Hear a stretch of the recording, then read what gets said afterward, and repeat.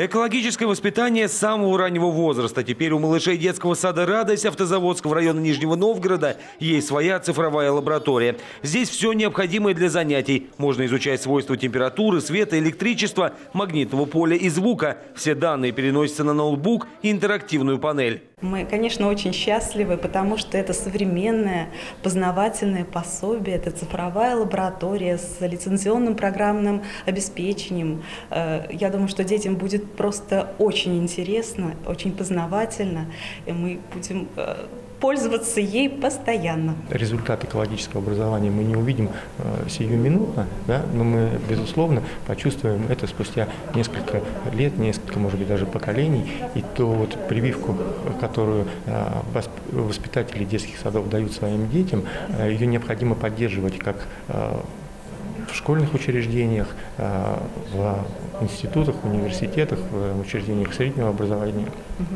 А, и в дальнейшем уже когда э, сформировался человек как личность. Деньги на приобретение цифровой лаборатории выделила управляющая компания «Исток». Это средства, полученные в рамках премии Нижнего Новгорода. Премия 100 тысяч рублей, которая была передана нам городом. А, мы решили передать детскому саду номер 24 «Радость», ознакомившись с его работами, которые тоже а, были на премии города. Мы посчитали, что это будет полезней. Как бизнесмен это будут больше дивиденды в будущем, чем в данный момент. И я рад, что есть такое учебное заведение дошкольное, которое развивает такую экологическую направленность. Сергей Щеплягин, Время новостей.